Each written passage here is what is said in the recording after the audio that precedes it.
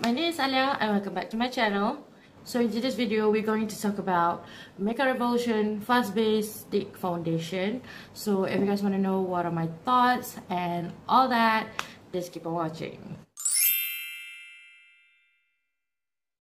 So as you guys can see, I don't have anything on my face right now except for my skincare routine. So now I'm going to apply some primer and this is Tarte Clean Slate Timeless Smoothing Primer. Okay, I've been loving this one for my pores and uh, untuk my smile line. So basically any skin texture, Alia akan letak ni untuk bagi dia like sukata and all that.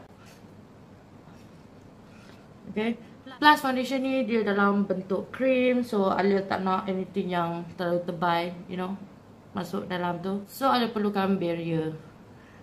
So this is what the packaging looks like. It's very um minimalist. Saya pernah guna so this is not like first impression whatsoever. Dia memang review. So yeah, I got mine in the shade F10, also F13. So actually, Alia, at first Alia ordered this one, but it turns out I'm not that black. Okay, I'm not that dark. So I have to order another one about, you know, to make it more like my shade. But honestly, I don't know what my perfect shade. So I'm sorry kalau hampa orang jadikan Alia you guys punya shade match sebab yeah, like I said, Alia pun beli salah color. Okay, so yeah. okay, once you open the cap, you guys uh, will have to uh, twist up the uh, foundation and this is how much you get Okay, foundation ni dia ada 6.2 gram ataupun 0.21 ounce and normal foundation comes in like 1 ounce or 30 ml. So, yeah. Okay, kalau nampak nampak like this hitam ni tu residue makeup Alia. So, nampak buat tak nampak boleh tak? Okay. Okay, nak Alia akan guna F13 dulu untuk letak dekat Alia punya keliling muka. Okay. I hope this is and hidung. Okay, hidung. Penting. Kenapa aku tak tengok ni? Bukan no mirror makeup challenge Alia. Why? Okay, like that. And untuk F10 ni Okay Alia akan letak Dekat uh, kawasan ni lah gitu okay kau tengok pori aku my god. That is such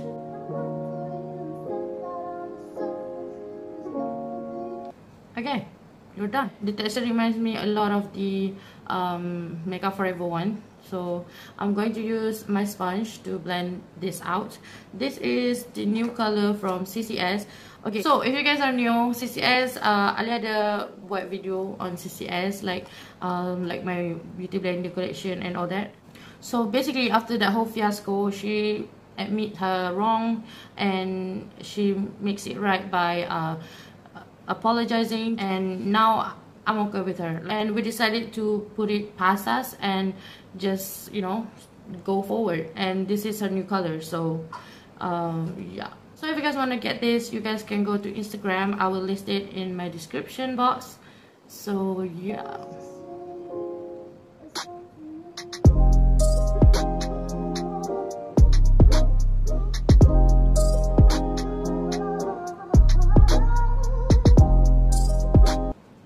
Oh my god guys, look at this.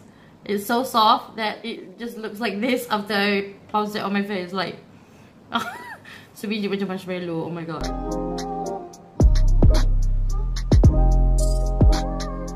so this is what we have so far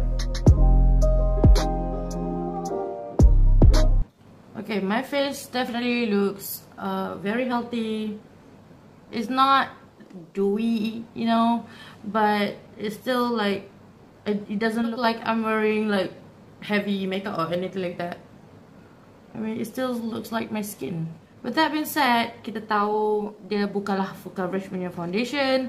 So, I might have to like cover this up with some concealer or, you know, maybe I should do it like with the foundation, you know.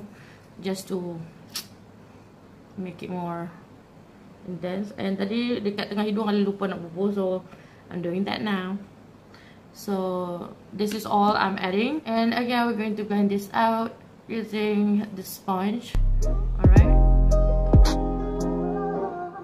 look at how easy it blends you know macam it's not even it's too creamy like I don't want to say it's too creamy sampai dia macam it slicks off but still dia nampak macam tak tak rasa macam cream produk langsung lah dia rasa macam liquid macam dia blend tu macam liquid okay and my face doesn't feel heavy. My skin tak ada rasa like oh aku pakai cream uh, foundation all that. Sebab hampa kalau tak familiar dengan cream produk hampa mungkin tak tahu.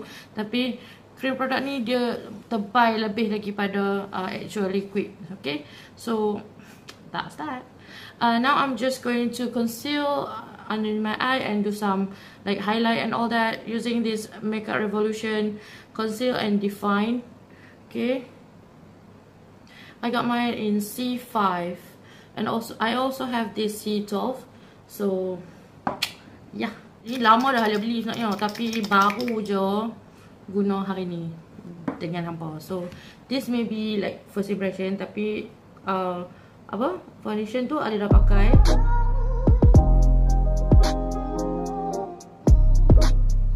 Okay now kita akan blend using the same sponge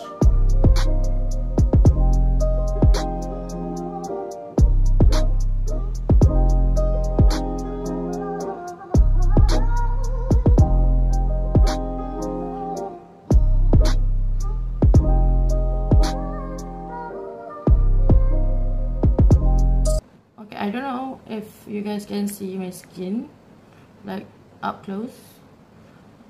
I mean confidentnya aku zoom in sampai tahu tu okay? So I mean the only thing yang Ala rasa macam nampak off sikit sebab dia nampak macam keki sangat dekat bahagian mata ni but everywhere else I think it looks okay. Okay I don't know hampa tengok sendiri tak mau sagi um, my opinion saja kan. So yeah. So now I akan finish off the rest of my face and I'll be right back after that. Okay? Okay hey guys I'm back. So this is what my makeup looks like now. Uh, I just put on some highlighter and of course my eyeshadow and all that and some lipsticks but everything else still the same. I don't even wear bronzer or blush. Uh, just some highlighter because i can't help it. Okay. So if you guys would like to see this uh, makeup look i will post it on my instagram. Uh, i already posted it obviously because this video will be post later than the tutorial okay? So untuk foundation ni okay um i actually really like it. To be completely honest with you guys my skin looks healthy. It doesn't look um dry or anything like that. But i do have this line on my nose here like wrap up right on this here. Uh yang tu memang every any foundation yang pakai mesti ada line tu. And uh lagi uh underneath here like ani so Dua tu memang Alia tak boleh kata apa lah. Memang obviously Any foundation yang Alia pakai mesti jadi. But uh, and, Like everywhere else I love it.